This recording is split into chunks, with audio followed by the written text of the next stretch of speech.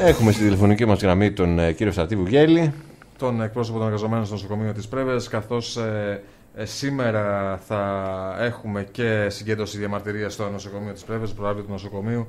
Ε, από ό,τι φαίνεται, δεν θα λειτουργεί η χειρουργική κλινική. Έχει προκύψει πρόβλημα με την χειρουργική κλινική τουλάχιστον μέχρι τέλος Αυγούστου. Ο κ. Βουγγέλης όμως θα μας ενημερώσει. Καλημέρα σα, κύριε Βουγγέλη. Καλημέρα. Καλή σας μέρα. Καλημέρα στις ακροάτριες και στους ακροατές του σταθμού σας. Κύριε Βουγγέλη, μας είχατε ξαναπεί για το φόβο ότι θα υπήρχε πιθανότητα να γίνει αυτό το πράγμα την τελευταία φορά που είχαμε μιλήσει. Ε, είχατε πει ότι θα προσπαθήσετε να το αποτρέψετε, τελικά δεν. Ναι, ναι.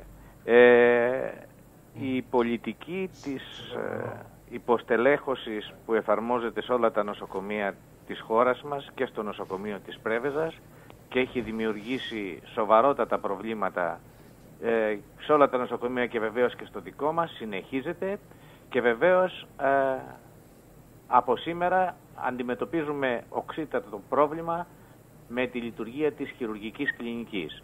Για να είμαι πιο συγκεκριμένος, από σήμερα, 19 δηλαδή του μηνός μέχρι τις 21 και τις 21 και από τις 24 Αυγούστου μέχρι τις 31 δεν θα υπάρχει εφημερεύων γενικός χειρουργός για το νοσοκομείο της Πρέβεζας. Πρακτικά τι σημαίνει αυτό κύριε Βουγγέλη. Πρακτικά σημαίνει ότι το νοσοκομείο μένει χωρίς χειρουργική κάλυψη.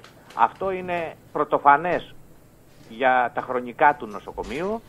Πρόκειται για σοβαρότατο πλήγμα στη λειτουργία του νοσοκομείου και ιδιαίτερα σε μια περίοδο θερινή που εκτός από τους μονίμους κατοίκους του νομού μας υπάρχουν δεκάδες χιλιάδες επισκέπτες στο νομό. Σημαίνει, ναι, ότι... Ε, θέλω να πω ότι αυτή τη στιγμή οτιδήποτε επίγον περιστατικό έρχεται στο νοσοκομείο δεν θα υπάρχει χειρουργός για να το αντιμετωπίσει χειρουργικά, αν είναι χειρουργικό περιστατικό. Φανταστείτε, ας πούμε, ότι αυτόν τον καιρό έχουμε πάρα πολλά ατυχήματα. Έτσι. Δεν θα υπάρχει λοιπόν γενικός χειρουργός για να αντιμετωπίσει ένα τέτοιο περιστατικό.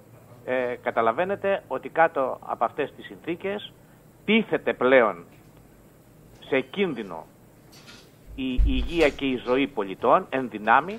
Αν έχει ένα σοβαρό τροχαίο με αιμορραγία και δεν υπάρχει χειρουργός, δεν ξέρω αν αυτό θα προλάβει να αντιμετωπιστεί όπως αντιμετωπίζεται ή να μπει σε ασθενοφόρο και να διακομιστεί σε άλλα νοσοκομεία. Κινδυνεύουν ζωές δηλαδή ουσιαστικά. Κινδυνεύουν ζωές και το λέω με τα λόγου γνώσεως κύριε Μίχο. Είναι σοβαρότατη εξέλιξη για το νοσοκομείο της Πρέβεζας. Δυστυχώς αυτά που καταγγέλαμε από καιρό τα βρίσκουμε μπροστά μας και η υποβάθμιση του νοσοκομείου της Πρέβεζας συνεχίζεται και παίρνει θα έλεγε κανείς και ένα ρυθμό πιο γρήγορο. Μπροστά σε αυτή την εξέλιξη εμείς καλούμε σήμερα στις 7.30 ώρα το απόγευμα στον προάβλιο χώρο του νοσοκομείου τους πολίτες της Πρέβεζας σε συγκέντρωση διαμαρτυρίας. Δεν θα φύγουμε αν δεν λύσουν το πρόβλημα τουλάχιστον της χειρουργικής κάλυψης του νοσοκομείου τον Αύγουστο. Πιέζουμε όλο αυτό τον καιρό προς πάρα πολλές κατευθύνσεις για να λυθούν τα προβλήματα στελέχωσης του νοσοκομείου της Πρέβεζας. Βεβαίως κατά κάποιο τρόπο φωνή βοόντος εν διερήμο ή του κουφού την πόρτα όσο θέλεις μπρόντα, διότι όπως φαίνεται υπάρχει αποφασισμένη στρατηγική επιλογή στο χώρο της υγείας που έχει τους εξής άξονες.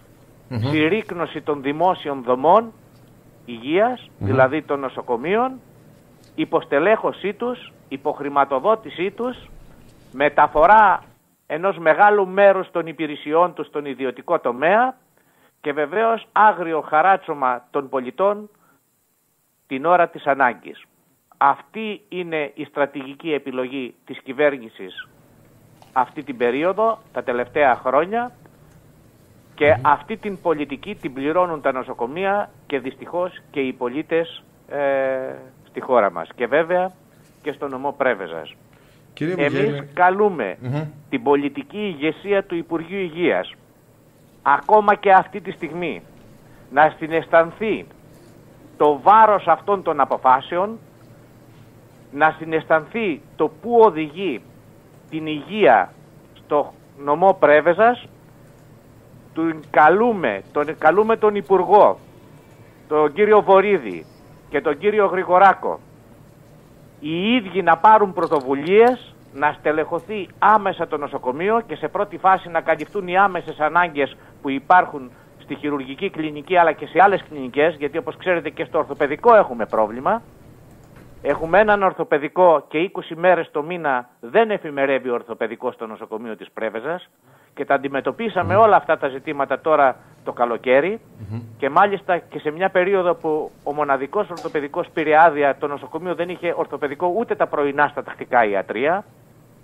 Να συναισθανθούν λοιπόν το πού οδηγούν την κατάσταση των υπηρεσιών υγείας στο νομό Πρέβεζας και να στελεχώσουν άμεσα από απόψε το νοσοκομείο της Πρέβεζας. Τι μπορεί να γίνει κύριε Βουγγέλη, πρακτικά μπορεί να γίνει κάτι για να έχουμε μια άμεση... Κοιτάξτε, δεν μπορούμε να δεχτούμε κύριε Μίχο απόψε το νοσοκομείο να μείνει χωρίς χειρουργό. Οτιδήποτε συμβεί που χρειάζεται χειρουργική κάλυψη ή ένα άμεσο χειρουργείο, αντιλαμβάνομαι ότι δεν θα υπάρχει ειδικευμένος γενικός χειρουργός για να το καλύψει. Είχατε πει κύριε Σημαίνει... Βουγγέλη την προηγούμενη φορά ότι αν συνέβαινε κάτι τέτοιο θα πηγαίνετε στον εισαγγελέα. Βεβαίως θα έχουμε και τέτοιες εξελίξεις. Mm. Βεβαίως και θα κάνουμε και αυτές τις ενέργειες σήμερα. δεν είναι δηλαδή μόνο η συγκέντρωση. Έχουμε, όπως ξέρετε, στις 12 η ώρα μία συνέντευξη τύπου. Θα έχουμε και άλλες πρωτοβουλίες που παίρνουμε. Ενημερώνουμε φορείς. Δεν πρόκειται να το αφήσουμε αυτό έτσι. Δεν μπορεί να μείνει ο νομός Πρέβεζα, ένας ολόκληρος νομός, 70, 80, 100 χιλιάδες άνθρωποι χωρίς γενικό. Και εν μέσω τουριστικής περίοδου κιόλας. Δηλαδή... Ναι, ναι, ναι. Ε, ε αυτό πρακτικά σημαίνει διάλυση του νοσοκομείου, κύριε Μίχο. Μάλιστα. αυτό σημαίνει, δεν σημαίνει τίποτα άλλο. Δεν μπορούμε να το δεχτούμε. Δεν πρέπει να το δεχτεί η κοινωνία της Πρέβεζα αυτό. Οπότε έτσι για να το φωνάξουμε αυτό να το ακούσει και ο κόσμο, στην ουσία υπάρχει, είναι ένα κάλεσμα το οποίο Ακριβώς. κάνετε ε, προς όλους τους πολίτες του, του, του νομού της Πρέβεζας να συμμετέχουν σε όλο αυτό το συγκέντρωση διαμαρτυρίες που θα γίνει στο προάβλιο χώρο του νοσοκομείου της ε, Πρέβεζας σήμερα στις 7.30 το απόγευμα. Ε, στην ουσία, όπως λέτε και στην ανακοίνωσή σας, για να, πείτε ένα, να πούμε όλοι μαζί ένα όχι στην ε, υποβάθμιση του Α, νοσοκομείου της Πρέβεζας αλλά και στο, για να βρεθεί και μια άμεση λύση για το θέμα που έχει προκύψει με, το, με τη χειρουργική κλινική. Με τον χειρουργό. μάλιστα. Μάλιστα. Ε... Ε, θα ήθελα να δώσω κάποια στοιχεία, κύριε Μίχου, τα έχουμε δώσει, αλλά είναι καλό να τα γνωρίζουν οι συμπολίτες μας. Η υποβάθμιση του νοσοκομείου, κατά την άποψή μας, είναι στρατηγική επιλογή. Έτσι. Το έχουμε πει και το λέμε ε, πάρα πολλές φορές, παρά το ότι υπάρχουν αντίθετες γνώμες από την πλευρά της κυβέρνησης που μας κατηγορούν, όπως ξέρετε, μερικές φορές ότι υπερβάλλουμε, ότι δυσπιμούμε το νοσοκομείο, ότι κινδυνολογούμε κτλ.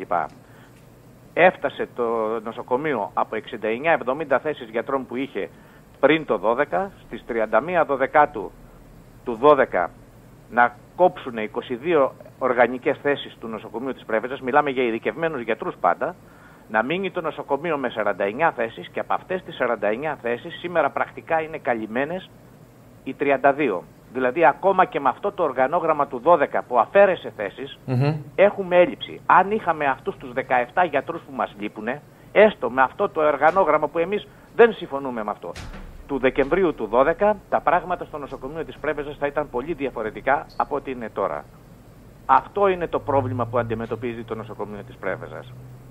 Και αυτό είναι που πρέπει να καταλάβουν οι πολίτες του νομού. Και ότι τελικά από εδώ και πέρα η υπόθεση του νοσοκομείου βρίσκεται στα χέρια τους. Εάν θέλουμε νοσοκομείο στο νομό μας, πρέπει να παλέψουμε, να αγωνιστούμε, να το κρατήσουμε και να το αναβαθμίσουμε. Μάλιστα. Κύριε Βουγέλη, ε, είναι σημαντικό και πρέπει όλοι μαζί, έτσι όπως το λέτε, να, το, να παλέψουμε για το νοσοκομείο. Και να αντιστραφεί ε, και το κλίμα, γιατί υπάρχουν αρκετοί πολίτες οι οποίοι λένε ότι ανακλείσει να τελειώνουμε και δεν είναι η λύση αυτή φυσικά. Ακριβώς αυτό το πράγμα. Και μάλιστα στη συγκέντρωση που είχαμε την εκδήλωση στον Παντοκράτορα με την ε, παράσταση από το θεατρικό σε μια τοποθέτηση που κάναμε, αυτό ακριβώς τονίσαμε. Η λύση δεν είναι αυτό που ακούγεται από ορισμένους συμπολίτες μας να κλείσει το ρημάδι τέτοιο που είναι. Διότι αν κλείσει το ρημάδι θα πεθάνουν άνθρωποι κύριε Μίγο και θα πεθαίνουν άνθρωποι καθημερινά. Διότι σε αυτό το νοσοκομείο έχουν σωθεί ζωές, έχουν ιαθεί άνθρωποι, έχουν σωθεί χιλιάδες ζωές παρά τα προβλήματά του. Άρα λοιπόν αυτό που πρέπει να κάνουμε δεν είναι να ρίξουμε την κατάρα και το ανάθεμα, αλλά να αγωνιστούμε, να συγκρουστούμε με τις πολιτικές που το διαλύουν, με τις πολιτικές που το υποβαθμίζουν, να συγκρουστούμε με πρακτικές που το α, απαξιώνουν στα μάτια της κοινωνίας και να παλέψουμε να το αναβαθμίσουμε. Αυτό πρέπει να κάνουμε. Εμείς σε αυτό το δρόμο θα πορευτούμε. Μάλιστα, Μάλιστα κύριε Βουγγέλη, είμαστε σε αναμονή των εξελίξεων. Θα βρεθούμε και στη συνάντηση τύπου. Θα μάθουμε και το απόγευμα τι θα γίνει στη συγκέντρωση που κάνετε. Θα είμαστε ενήμεροι. Σας ευχαριστώ πολύ κύριε Βουγγέλη για την ενημέρωση. Να είστε καλά. Καλή σας μέρα. Καλημέρα. Καλημέρα.